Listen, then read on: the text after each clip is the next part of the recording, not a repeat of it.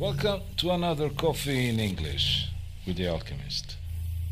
Today we are going to explore the fascinating world of productivity, time management, and personal development. We have a very special guest joining us. Someone who is no stranger to the art of mastering time and productivity. Also known as Captain Time in the world of productivity, he is here to share with us his wealth of knowledge. Our guest today is Garland Coulson Garland has dedicated his life to helping people reclaim their time and regain control of their life.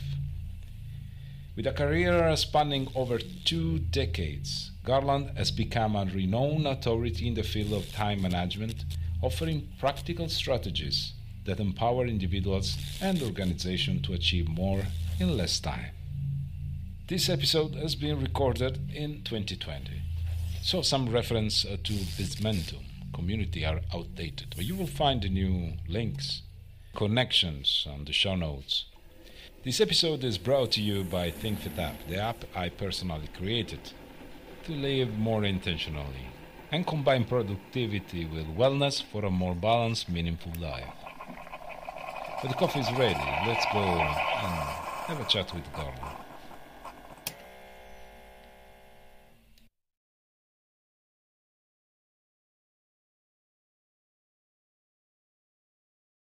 So again, talking about your community, you just you created quite recently called Bizmentum. Why you created this community? What what what is uh, what is your main goal and, and your purpose? To do so? Well, it has it has multi purposes. One of them is I have a problem. Uh, I do time management coaching, and when I'm coaching my clients, usually at some point, I recommend to them they get a virtual assistant of some sort because of the fact that it just makes sense to have some of the detail work done by somebody else so you can focus on your high value things.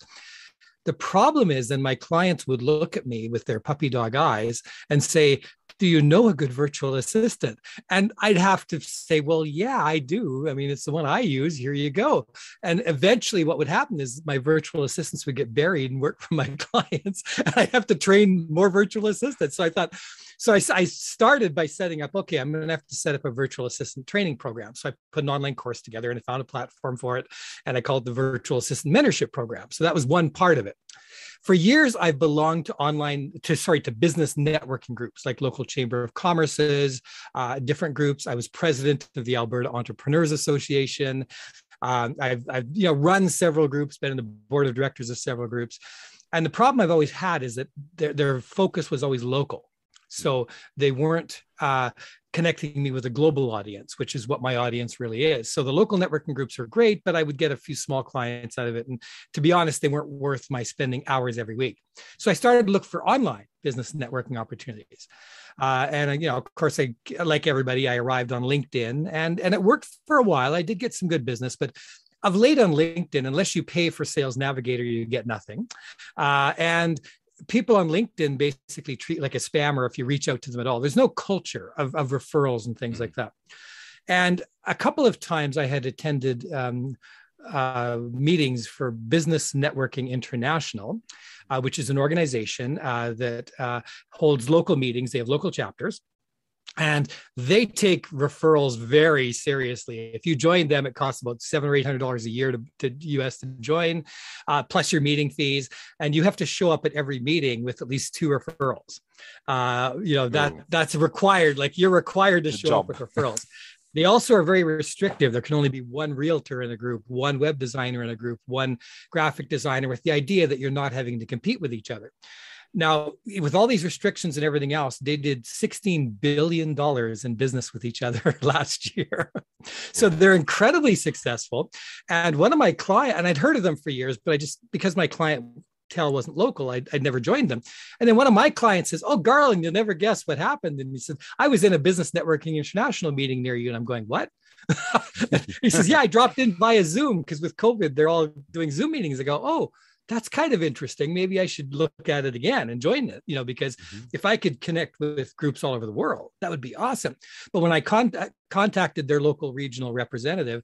They said, no, we're only doing Zoom meetings because people can't get together for COVID. Once mm-hmm. that's done, we're going back. You have to join a local membership. I'm in a small city here just outside of Edmonton. My local city's got 37,000 people. It's not big enough for, for my clientele, you know, to have clientele. So I was back to square one. And so I figured there's got to be a better alternative. The other problem with uh, LinkedIn was in the beginning, their online groups used to be really useful. But what mm-hmm. would happen over time is they just became full of what I call blog spam, people just coming in, spamming with their links to their articles or their YouTube videos, and nobody's actually having a conversation anymore. So I decided to develop my own system. So what I did was I uh, came up with uh, Bizmentum, and the, the idea behind Bizmentum is it's meant to be online business networking reimagined. I want to set up a culture of people who go first to Bizmentum to ask questions, look for suppliers, refer to each other, uh, help each other, uh, and and can and continually do that. And I've, it's been quite successful. I've had lots of people sign up the first first month and a half it's been running, uh, but it's it's a long way to go, of course, because I'll need I, I will eventually want to have thousands of people in it uh, to be able to do that. But so far, I'm very pleased that the conversations are real. There's real people there helping each other and chi- ch- uh, chiming in to help if somebody's got a question. So. That, uh, so Bizmentum, the name is just for, out of curiosity. Is it because business is, is the sound is business momentum? Business momentum. ah, yeah. Okay. It's short, yeah. short for business momentum. Oh, Trying to come up with a name for anything now that is not already a dot .com name that's not already registered is very difficult. So I was very pleased to find bizmentum.com was, was available, available and I could register it. Cool, cool. And then, uh, then I joined also your your network because uh, for my project, one, one project, as I mentioned, is ThinkFit. I, I want also to create a, a, um, a community of um, that yeah since i do realize it takes work commitment and uh, maybe some time there are periods i am i'm, I'm available but there are others that i'm not um, so I, my intention is is maybe to to drive uh, ThinkFit users and this community into Bizmentum because we are sharing the same concept, the same ideas. Although my my typical users are, are more focusing on productivity, time management. Uh, I I know that in Bizmentum you you you have also other type of coaches, life coaches, but everything everything is is is is good.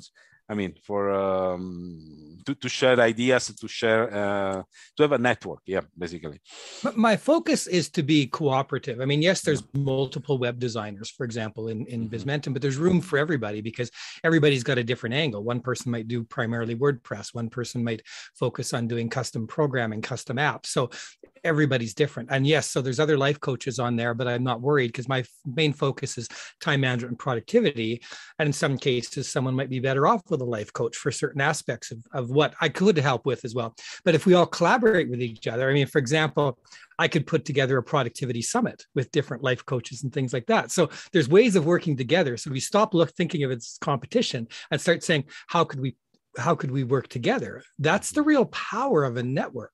And uh, what i've always loved about networks and i've, I've used many of them for years um, is the, the fact that people will answer. So if I go into a Reddit subgroup for maybe some software I use and ask a question about the software, the next day I've got four or five people minimum who've answered. Plus, some people have even put together how-to videos for me. I mean, it's that level of help that that networks can provide. And yes, I'm very open to people bringing their networks into Bizmentum because, of course, you could set up your own network as, as well um, using tools like I've used to create Bizmentum. But then there's my my Bizmentum, there's your your community yeah. and there's somebody else's community yeah. if all those were together in one then we've you know we've tripled our our reach. And uh, I know one of my uh, members, uh, Julie Williams, who's a voiceover trainer, has mm-hmm. brought, I think, her, her, all of her students into Bizmentum, which is great. So, so you know, she's bringing uh, a lot of her people uh, there because I'm, I'm going. Why are all these these voiceover people joining Bizmentum? A lot of voice. So it was. It's been been great. Yes. So so we have no shortage. So Bizmentum's the place to go. If you need any voiceover work at all, come to Bizmentum. I've, I've got a whole crop of well-trained voiceover people for you there. That's thanks to thanks know. to Julie, of course, who who has been great with inviting inviting people. And Good. again, she's not focusing on competition because she wouldn't be bringing her competition there. She teaches these people, she trains them, right, on how to build their business. And part of building a business is using online business networks like Bizmentum. Great, great. And then I I I, um, I also appreciate you. One of the first posts uh, you you you posted there is uh, how not to spam people. yeah, because I, think it was the first or the second post from your side. He said how to contact, approach people without spamming. This is a this is a good skill that everyone should should know yeah. Yeah it's very common for you know people who don't really understand what they're doing to just hit every member and and contact them directly. And again that's that just comes across as spam if you don't haven't got taken the chance to get to know them to find out what's going on. Yeah, yeah. So definitely a, a, video that's that's why i put it in the featured videos. I'm hoping people will watch that before they start connecting with people on Bizmentum so. Yeah that's that's great.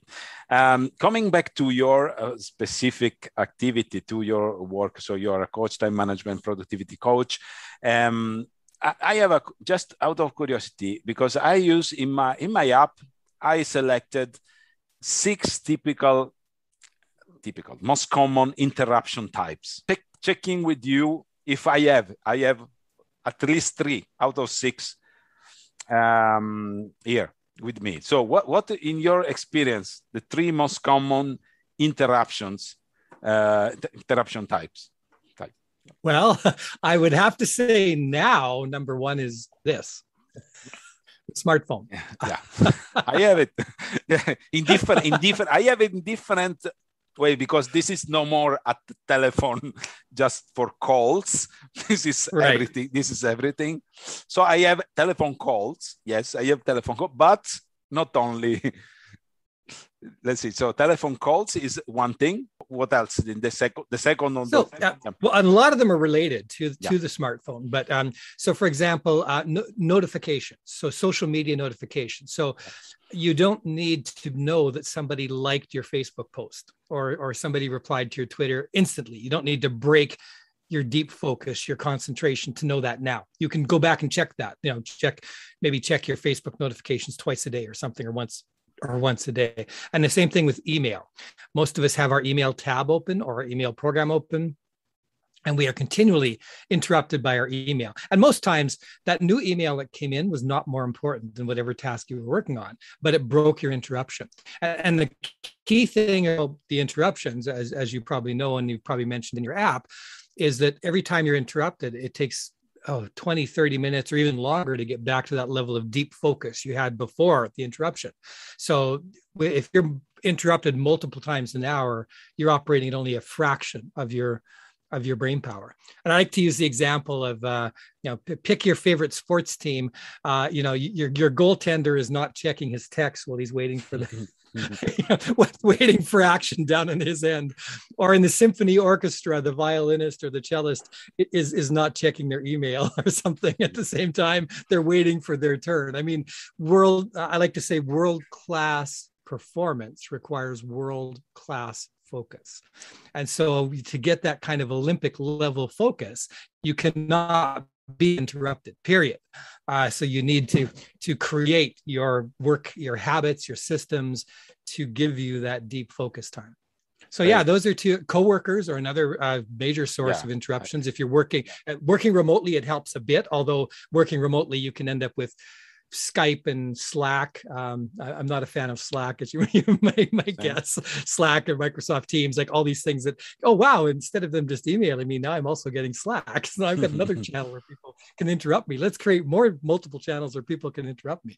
So, yeah, uh, those are so there's some of the key ones um, email, uh, telephone, of course. Uh, the, the, smartphone overall is probably the biggest one because it contains all these other ones. Uh, and uh, coworkers uh, can be another one. Even your boss can be continually interrupting you and breaking your focus. And you might go, well, that's my boss. Well, I have to, but I have techniques for dealing with bosses who interrupt as well. So. Yeah, yeah, yeah. In, I, your expertise, and you have also uh, yes, your book is, is at the back. I had not yet the chance of uh, reading. Stop wasting time. Your in your book, you you you cover also uh, topics like like how, how to manage interruptions Yes, definitely how to manage interruptions, how to create focus. Yes, those are are all in there. Uh, how to stop procrastinating, which is a big a big part as well, because for many of us, procrastination is a Excellent. is a real issue, and and and sometimes you know it goes on for weeks or months, and we get very stressed that we've never gotten to something, and and then finally when we do it, it didn't take that long, and then we're mad because why, why was I stressed for months when I could have blown through that task anytime with 15 minutes, and why didn't I just do it?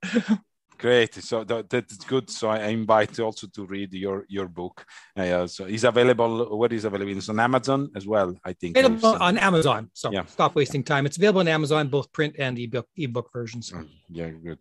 Okay. This this is. But I I when when I entered this world of uh, procrastination, distraction, whatever, I I now I am uh, more on the psychological part because the behavioral part and uh, what what does behind the procrastination there is a lot. There, there's there mm, could be uh, something that uh, some need unexpressed need uh, that is is uh, is covered is covered by procrastinating. And so there are multiple multiple elements impacting the the, the procrastination. Uh, so yeah it's, it's a very very complex. But yeah and i go into a lot of the psychological aspects of it in, in the book as well because yeah it's quite intriguing to figure out what why am I procrastinating? What, exactly. what why am I sabotaging myself? And there's a lot of self-sabotage that goes on. And so learning not to do that is is key. So yeah that's that's very very good to know and then I, I think i have almost everything there is one that was surprising me when i, I was researching which is I call it toilet emergency. so I got the, yeah, apparently one of the in the the, the first uh, top five uh, six interruption at, at work uh, is, is mentioned there. This toilet emergency anyway we have also this one. Um, that that's good. So and uh, I assume that if you want to give three mm, main tips to reduce interruption and to improve from end of today to who is listening to this this audio audio uh, podcast. So what are your first three uh, most impactful uh, um, solutions or just uh, tips Well, first off, to reduce distractions, I highly recommend you work in time blocks of focus time where you're going to work on a certain project. So, uh, one example is I, am self-employed, so I don't ever get a paycheck ever. So I have to market every week. So I, I have set blocks of marketing time that I keep sacred. I don't let anything interrupt that. Mm-hmm. During my marketing time, I'm not doing anything else. I'm not answering emails. I'm not doing all the other stuff. I've only work on those things. So I work in time blocks and I work very focused. The other one would be to take control of your smartphone and all your other notifications. So I only have open whatever I need to work in that project. So if right now I'm going to write an article, all I need open is whatever I'm, the writing tool is I'm using, and perhaps one browser window, one tab for doing research uh, you know on the article. I don't need my email open. I don't need skype open. I don't need any of these other programs open. And so my clients often share their screens with me during my coaching our coaching sessions together and they'll have 20 or 30 tabs across the screen open uh, including news and weather and different things going on. And so I, I teach people to reset between each project that you should close everything that you had open for the last project and just reset and start fresh and new. Uh, I'm a fan of the Pomodoro technique of using, I, I, call it a focus timer because it was around before the Pomodoro technique, but essentially setting a timer for 20 or 30 minutes working and then taking a short break. And the benefit of that is it reminds you if you've got this smartphone counting down or, or a timer next to you, a kitchen timer counting down the 30 minutes, then you look at that and go, oh, right, I'm supposed to be working on that for this 30 minutes, not looking at funny cat videos on the internet or whatever else you got drawn into with the ra- endless rabbit hole that is the internet. So that's that's the key things is to uh, have a set block of focus time for each of your projects, to set a focus timer for each one of those, to get rid of all the distractions. Uh, I sometimes call it a power hour to create one hour where you're uninterrupted, no phone calls, no nothing and and just work uninterrupted for one full hour and you'd be, you'd be astonished how much you get done when you can fully focus. The other trick i guess i would say is to plan first. So a lot of times what happens is the decision making is what kills us in the productivity because we've got we're 20 minutes into our productive 30 minutes and we still haven't decided what the task is we're supposed to do. So i've already pre-planned all my projects um, what what they're going to be, all my time blocks, and then what the tasks are in each one. So for marketing, I just open up my marketing task list, start with task number one, finish it, go to number two, three, so on. If it's content development, I go to my content development task list, open up the next content project I'm working on. It lists right in the task where I left off, where I finished, you know, last time, and I continue on with that till done. Then go to number two and number three. So I'm never having to decide what to do next. So if you're ever going, what do I work on next? You're doing it wrong. If you ever have that thing, then you need to incorporate planning time as as you know to get that out of the way. That, that's a good stuff. Then I, I, I, I, said for the users, you have a YouTube channel, you have you review uh, uh, also software and application. Then uh, everyone can go and see which which one is more uh, uh, suitable because each one is different. There are plenty of application, plenty of um, productivity and time management or um, project management tools. Uh, but I mean, each each one of us is different. So maybe someone is something which is more suitable for you is not suitable for me, for my needs, for my type of work. So uh, we need to customize and to understand. Uh, because it happened to me when I start trying different application. Uh, of course, starting from the most advertised one because there are these pop-ups and some things coming up. So and it happened many times to me to, to try something that is was very complex, too complex for my needs. So I was just spending my time learning how to to to use the, the this the software instead of using the software for my needs. So this was paradoxical. Anyway, um, um, okay. Uh, another, uh, so I'm curious. Uh, yeah, how... yeah, there's no no one tool to rule them all. Yes. Yeah, correct. Yeah. And, yeah, and that's why you have to figure out which one's right for you.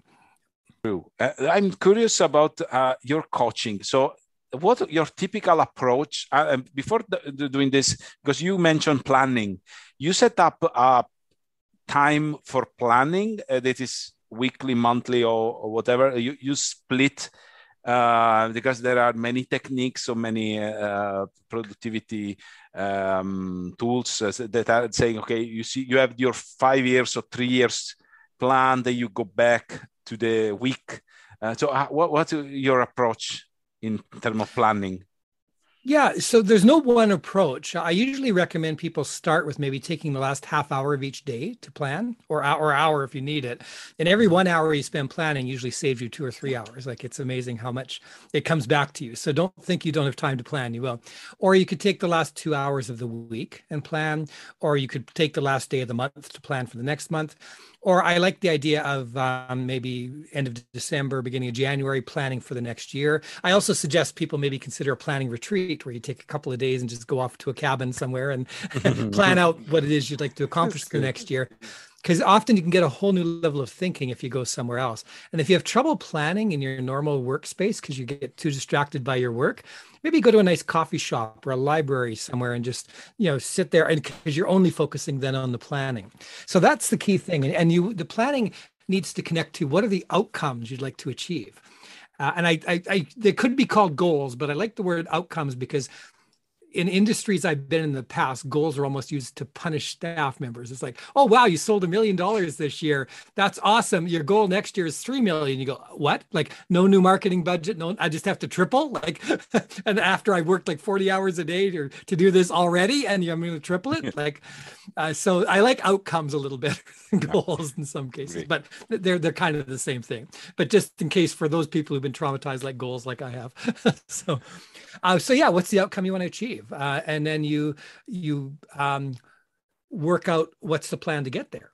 So that's it. So the goal plus the plan is what you need for success, and plus the focused time for the plan. So it's the goal or outcome plus the plan to get there plus the dedicated time to work on that plan so those three things together are all needed to work and most of us just you know new year's resolutions oh i'm going to lose weight i'm going to Um, you know, I'm, I'm going to write a book this year, uh, you know, and, and and they're very off the cuff, you know, pie in the sky things. But nobody says how do you do that? And well, you have a you have a fitness app. You understand that the way to lose weight is not to just set a goal in January and then continue doing the same thing you're always doing. You need new habits that are going to get you there. So yeah, yeah, yeah. It is a New Year's resolution that I, I don't recall. I think uh, before March are, are all are gone, and I don't know the numbers. Most are gone. Yeah, yeah. So uh, uh, going back to your your activity, I'm curious to uh, how you approach a typical client. So you have a, a structure um, typical approach. So I mean, you meet someone asking for your uh, your services, and then what, what's your plan? Typical in general, eh? So, so how do you tackle well, the issue? I adapt my plan to every every client because mm-hmm. every client is different. So, first off, I have created a number of coaching templates, uh, things that I can go through with clients that cover every possible time management technique. And I started this because I had a client who was very successful, and he I'd coached him successfully for a long time and it was getting to the point where I'm going, what do I have left to teach this guy? you know, because I I taught him so many different techniques, and you know, you know how sometimes you teach clients and then you have to keep reminding them, yeah, you're supposed to apply that technique. No, I he applied the ball. He was using Everything. them all. He was awesome, best client ever, right? But I was starting to think, have have I taught him everything I know? Are we done? Like, so I, I sat down one day and I did a massive brain dump onto the biggest spreadsheet I'd ever created of every time management technique I knew and just brain dumped it. So, and I now use that uh, when mm. with clients so that I can go through to cut so I, I, know where we've covered i can know where we've left off i've also created a very extensive goal setting template and a mind map as well so i've got templates set up for, with clients that i can use and checklists and things like that so i'm mm-hmm. developing those but a lot of my clients um, don't necessarily want to work step by step. I mean, I also give my clients who purchase enough hours, I also give them access to my 90 plus video library of training, you know, training materials as well. But for many of them, they just want to sh- brainstorm with me that week on on what their crisis is or what their problem is. Mm-hmm. So it's like, okay, Garland, here's the fires this week. You know, let's go put them out. How, how, do I deal with this problem? How do I deal with this problem? Three staff just quit. What do I do? I need people by Thursday. You know, and mm-hmm. so for some of them, it's um, we, we, go from one emergency to the next, and I'm trying to help them also plan for the future when we mm-hmm. hopefully won't have as many emergencies. Some of them. Um, it's just whatever occurs to them that week that oh suddenly something came up. And as you start coaching it unlocks a lot of things emotionally and psychologically or it also unlocks ideas. They go well i could do this. And then they have, say well garland i have this idea but that would be a whole new business. How would i get time to do that? So then mm. um, so some of our times are just what do you want to talk about this week? And then we we go from there. Yeah. but i've also got the, the structure the backbone of where we can always come back to the you know to the program uh, which is very step by step. My program is very step by step and starts off with things like like the planning like the time blocking like reducing distractions and gaining focus and how to you know, get your systems in place. So it, it's a very step by step program but for many people they just use me as a as a guide you know guide uh, mentor that week and to help yeah Oh no, no, that's great. It's good that this this approach that is personalized. So yeah, and then I also assume uh, among the tools and the techniques you you mentioned, you have this spreadsheet. You have mm-hmm. some something uh, more difficult or hard to to implement immediately. So sort of a difficulty level because I, I, assume that not all the techniques, not all the tips uh, you, you, you suggest or uh, are are the same, are, are the, the same impact or level of uh, difficulty in implementing. Am, am I right? Yeah, I, I, try to work with bu- foundational building mm, blocks okay. first if I can. So if I get the people used to I start off by trying to have them create their own personal productivity system. And that includes, uh, I, I, like to call it buckets, having buckets to hold everything. So if you want to organize your office, you got pens and stuff all over your desk, you need a place to put them, a drawer, uh, a pen, a pen holder on your desk, something. You need a place to put them buckets. So similarly, you need places to hold things like your tasks, um, your your contacts, your people, uh, your notes. So I, I start by getting some of the basic systems in place. Then, of course, leading them into thinking in time blocks, gaining focus, reducing distractions, and so we build up from there into the more complex things like delegating and getting work done through others. And you know, those are the more the more complex tasks. But in the beginning, focus even even just focusing on reducing the distractions and creating a deeper focus has a huge impact. I mean, I've had clients tell me that I they've been able to double or triple their productivity using the techniques I've given them, and that's not from working more hours. And I also focus too on I don't want my clients working 60 hours a week then I teach them to triple their productivity and they're still working 60, but just getting more done. I, the idea is no, no, you're going to cut yeah. back to 30 after this because you don't need the 60 anymore and because you're getting three times as much done, right? So now you have more time to take a break or spend time with your spouse or family or in the community or whatever it is you want to do, you know? So that's, that's the goal is I don't want to just keep people working at that incredibly high level of uh, yeah, you know, too much because you burn out too uh, after a while. It doesn't matter how good you are, uh, you cannot work 60 hours a week forever. You, you burn out.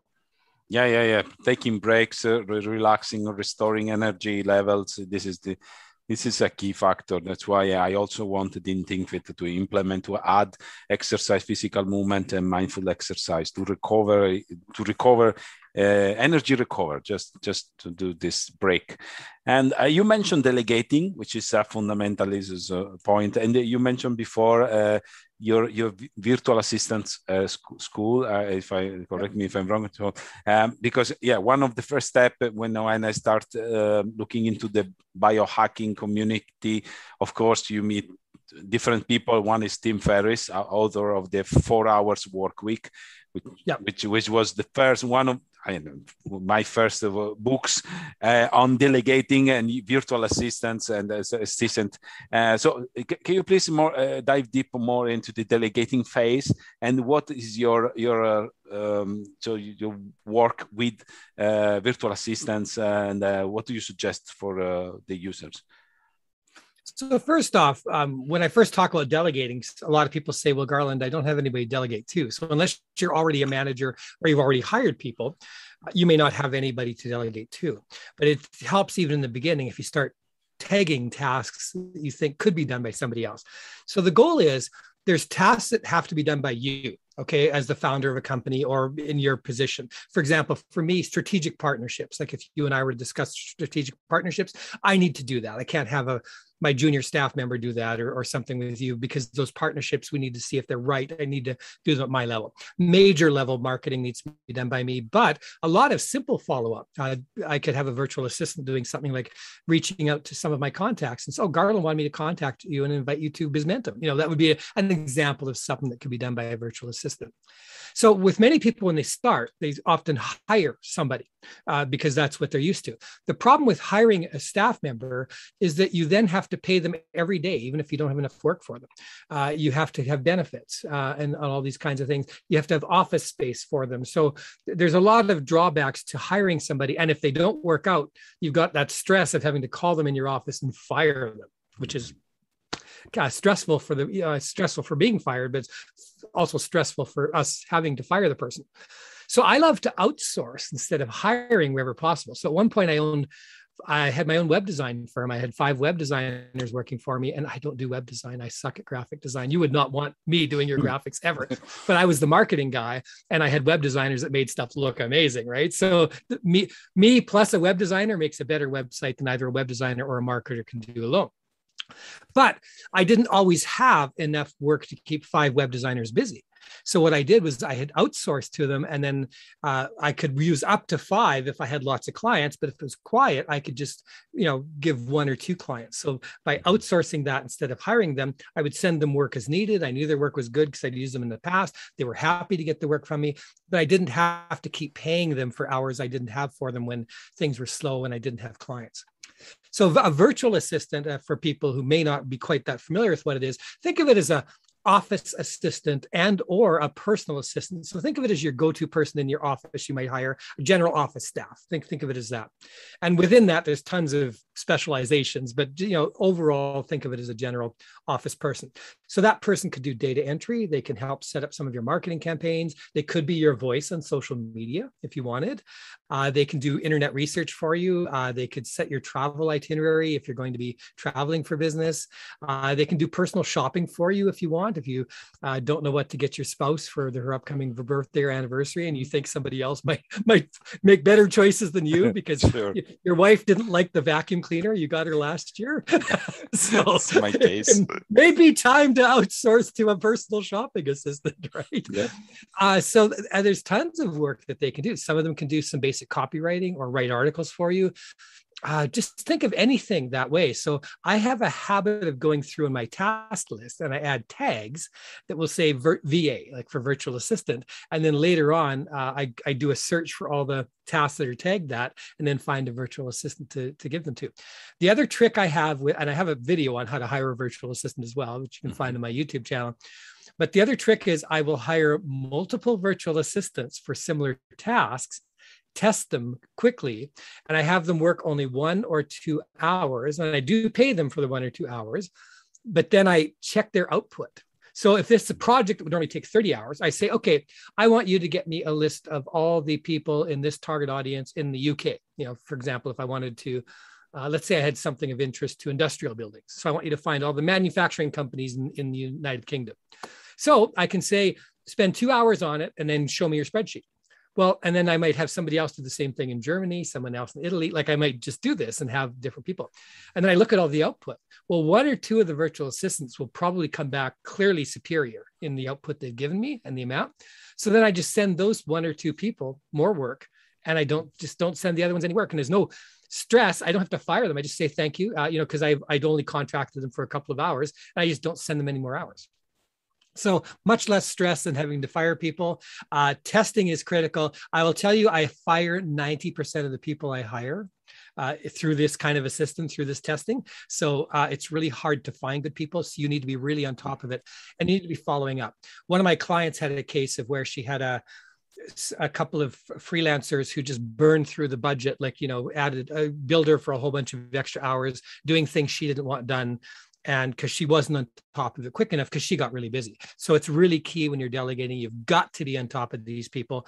You've got to be following up with them and again test after a few hours before you turn somebody loose on it. And it may not be their fault. It might be a misunderstanding okay? Mm-hmm. uh, especially if you're hiring somebody with another language. Um, you know so and and and i'm not picking on anybody who speaks multiple languages because i speak only one. So somebody if i hire somebody from another country and and their english is not as good as mine but you know they also speak italian or german or dutch or whatever it is great that that's awesome. So I, I want to make sure the instructions are clear. So i'll send in the instructions have them work for one or two hours and then if they got a bit off track say oh no i didn't quite mean uh, i meant more manufacturing firms not not um not really uh, say shipbuilding firms or you know like something like that. And also it's a test for you too because your instructions are usually not that clear the first time you do them. So I'm, i get better and better at giving instructions uh, when i do this so. That, that, that's a good point i was just writing some notes uh, because in my personal experience um, and this is maybe one tip for who is listening uh, when there are some tasks, repetitive tasks, uh, mainly uh, low level, let's say low, medium level, if we want to also say low level, tasks that, okay, we can delegate. Uh, I suggest in the planning phase or to have to reserve a slot to break down and create distractions because this is what I, was facing the first time. In my mind, everything was clear. everything what to do was perfectly crystal clear but translating what in, in, in uh, to somebody else in, in, some other place maybe speaking uh, i think i was a filipino but speaking other languages uh, translating to actionable from the other side is very hard so there is a lot of margin for misunderstanding of uh, so and there are also there, are, there is a, a difference in culture from, from country yes. by country this episode is brought by ThinkFit, available at thinkfit.app. app. It's the app I personally created uh, to live more intentionally, combine productivity with wellness for a more balanced and meaningful life. Using ThinkFit, you will get more meaningful things done. You will reduce interruptions. You will know how to manage interruptions. You will physically move more with a piece of mindfulness as well for more energy recover and synergy between physical movement and flow state. And we have a deal available on the ThinkFit store. The more you use ThinkFit, the more you get fit and get things done, but you have fit points in reward. The deal is exchange fit points for one hour of consultation with Garland Coulson. Yes, you hear it right. Go today to thinkfit.app and try. You will be surprised.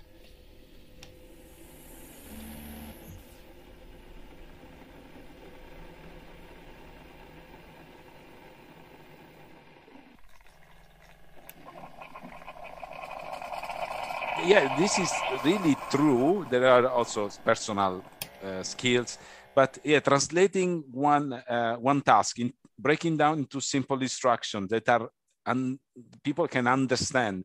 And having maybe a feedback from the other side. Did you so can you please repeat back to me? So yeah this is a good point. Um yeah, the other also, trick yeah? the other trick with that is i am a firm believer i, I love checklists. I'm the checklist yeah. king. So to me checklists are the first and most basic form of process documentation so whenever I do anything, I don't start by just diving in and doing the task. I start by creating a checklist template for it. Then I hmm. can copy that checklist every time I use it. So I'll give you an example. When I'm going to create a new YouTube video, there's a lot of different steps. I have to come up with the idea. I have to do keyword research to find out what people are searching for. I have to come up with a good title for it that's going to work from a search engine optimization perspective. Then I have to write the outline. Then I have to uh, create the PowerPoint if it's a PowerPoint or a mind map. I have to record. Like there's all these steps. So right now I'm up over 30 different steps for creating a video. Now that sounds like a lot, but I get them done within an hour or two. So it's not that it's that many, but these are the steps. By creating this and having it as a template, if I go to hand that over to a virtual assistant, it's now much easier because I've got a checklist. And if they screw up on the checklist, I know the checklist isn't clear. So I, I change the checklist every time I use it. I make it clearer and clearer. So now over a period of months, my checklists are getting really good.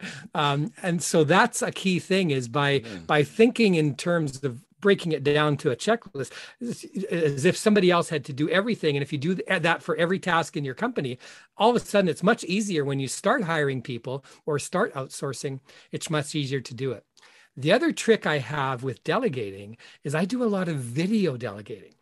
So what mm-hmm. I do is if it's anything to do with any software, anything to do with the website or anything that's computer based, which more of, more of our work is computer based now, I, I screen capture and do a voiceover.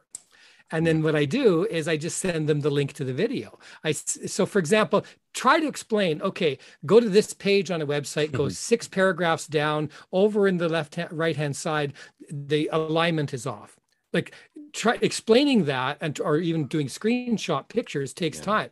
Doing that in a video takes 30 seconds. So to show them the problem. So it's much faster to show the problem than it is to try to type it out.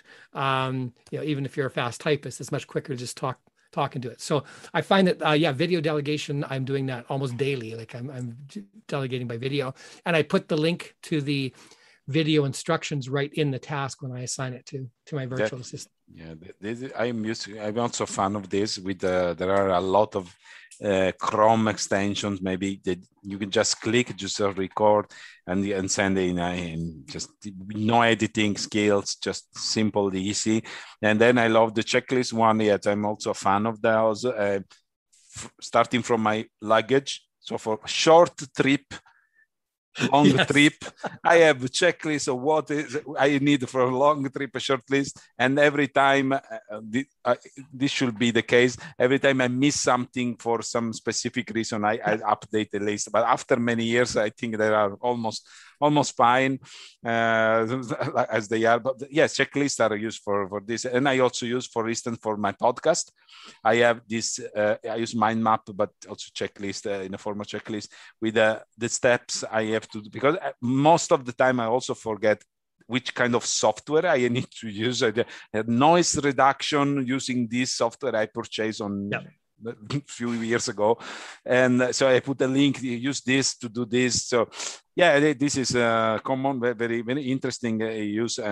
I also am a fan of checklists. And I, I discovered recently, just I was looking, I discovered a, a, a tool on Windows.